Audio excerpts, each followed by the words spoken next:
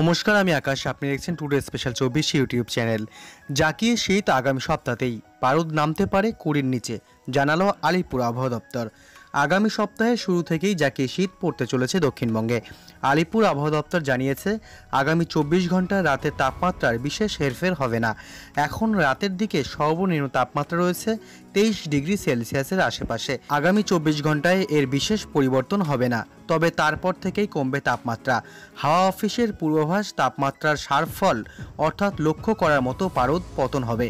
তেইশ, চব্বিশ, পঁচিশ এবং ছাব্বিশে নভেম্বর এই চার দিন।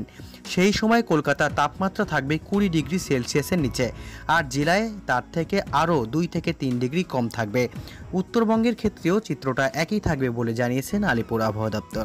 আগামীকাল অবশ্য আকাশ আংশিক মেঘলা থাকবে, তবে বাইশ তারিখ সকাল থেকে একদম পরিষ্কার থাকবে আকাশ আর রাতের বেলা থেকেই তাপমাত্রা কমতে থাকবে।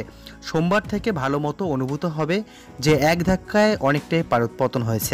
এমনিতেই আজ সকালে আলিপুর আবহাওয়া দপ্তর জানিয়েছিল যে রবিবার থেকে আবহাওয়ার ব্যাপক পরিবর্তন হবে।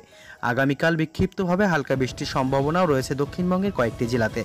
উত্তর ও দক্ষিণ চব্বিশ পরগনা, পূর্ব ও পশ্চিম মেদিনীপুর, হাওড়া এবং ঝাড়গ্রামে হালকা বৃষ্টির সম্ভাবনা রয়েছে আগামীকাল। এছাড়া উত্তরবঙ্গের দার্জিলিং, কালিম্পং সহ পার্বত্য এলাকাতেও আগামী কয়েকদিন মেঘলা আকাশ থাকবে।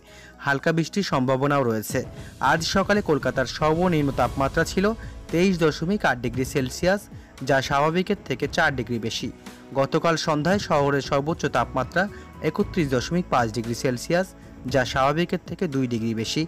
বাতাসে আপেক্ষিক আর্দ্রতার পরিমাণ সর্বোচ্চ পঁচানব্বই শতাংশ এবং সর্বনিম্ন চুয়ান্ন শতাংশ। আজ কলকাতার তাপমাত্রা তেইশ থেকে বত্রিশ ডিগ্রি সেলসিয়াসের মধ্যে থাকবে বলে জানিয়েছে আলিপুর আবহাওয়া দপ্তর।